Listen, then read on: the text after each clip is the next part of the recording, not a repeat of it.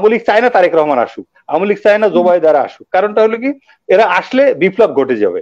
কারণ যে ওইখান থেকে অনলাইনে যে বার্তা দেয়, তাতেই পাঁচ ছয় লাখ লোক মানুষ চলে আসে। এক এগারো ওনাদেরই নাকি অর্জন ওনারা বলছে। সুতরাং এক এগারো যদি ওনাদের অর্জন হয়, তো এক এগারো ওনাদেরকে আনছে ক্ষমতায়, তো বোঝাই যাচ্ছে এই সন্ত্রাসের কারণে, এই তাদের ডিসরেসপেক্ট ফর আদার্স এই যে শত্রু ভাবাপন্ন মনোভাব, হিংস্রতা, এই যা জিঘাংসা, এগুলির জন্য এরা মানুষের মন থেকে উঠে গেছে।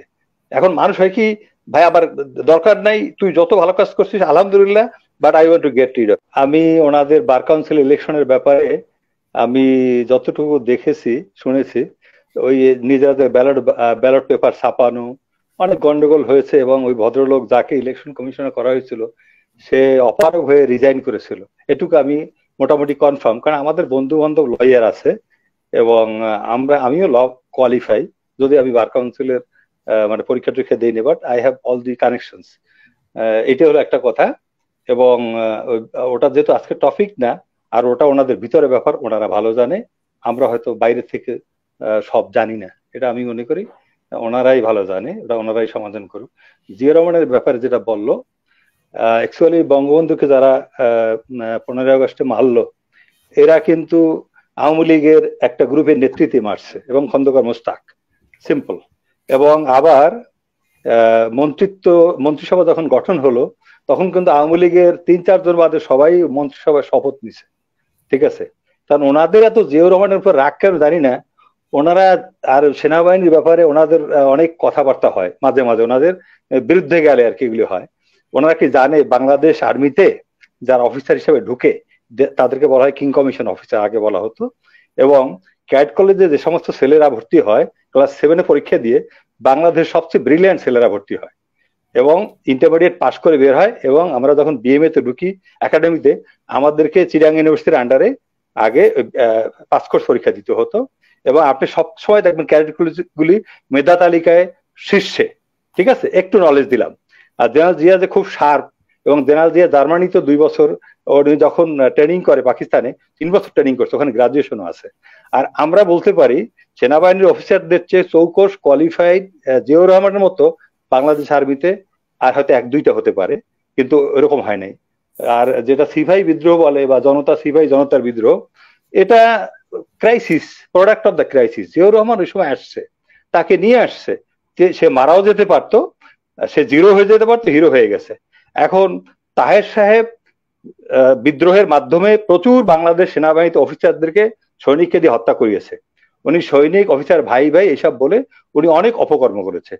এটা কোনো ফৌজে হয় না।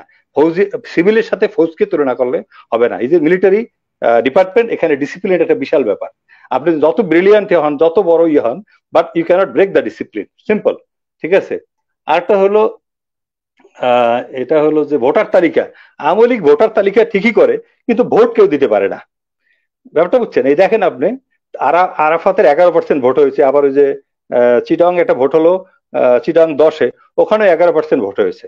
তাহলে আপনি ভোটার তালিকা একটা ভালো করলেন, কিন্তু ভোট দিতে পারলেন না ওই ভোটার তালিকা দিয়ে হবে কি? ঠিক আছে?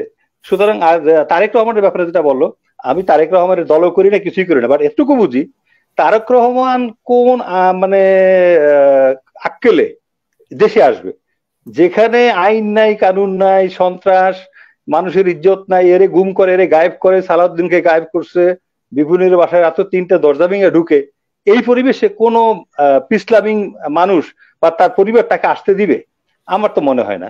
সিম্পল এটা, একটা কমন সেন্স সুতরাং আগে আমাদের সরকার একটা পরিস্থিতি তৈরি করুক, একটা আবহাওয়া তৈরি করুক হ্যাঁ ওরকম জুলুম, অত্যাচার, নূরের উপর হামলা, এগুলি থাকবে না।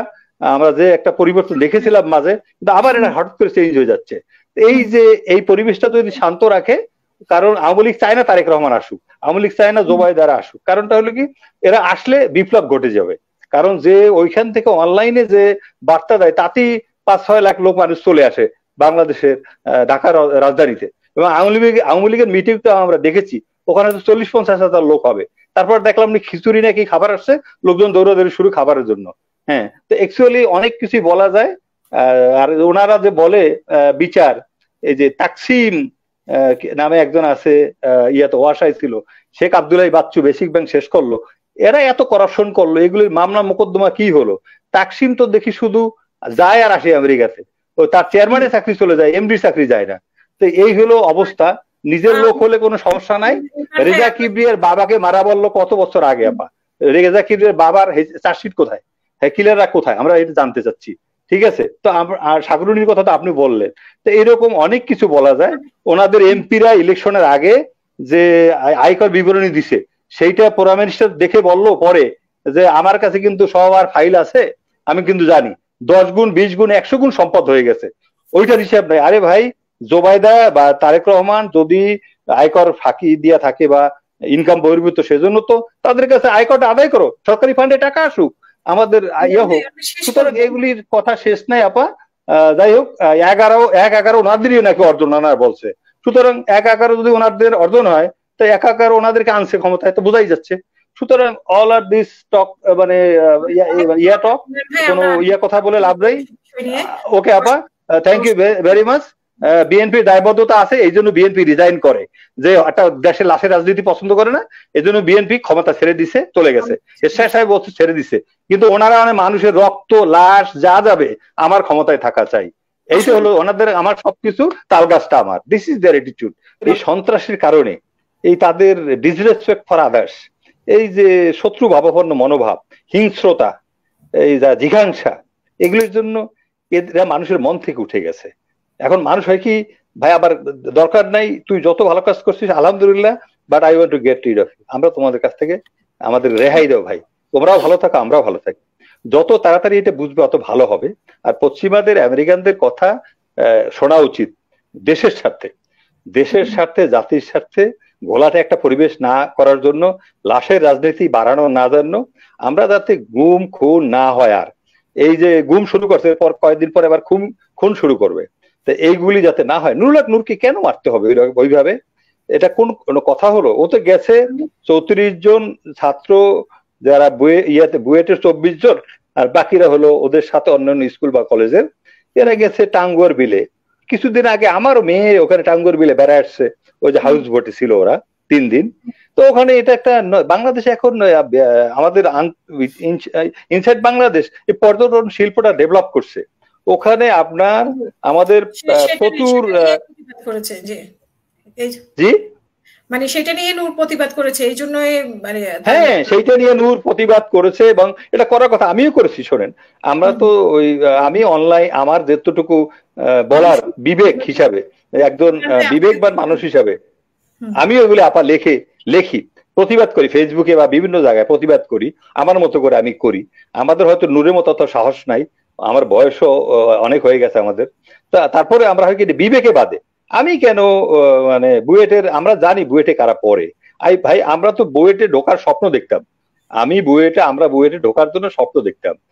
এখন বুয়েটে যারা চান্স পায় এই ধরনের ছেলে পেলেকে চব্বিশ তিরিশটা ছেলে ছেলেকে এইভাবে করে এটা তো ম্যাজিস্ট্রেটের উচিত ছিল ওই সময় তারে আমলে না নিয়ে খালাস দেওয়া।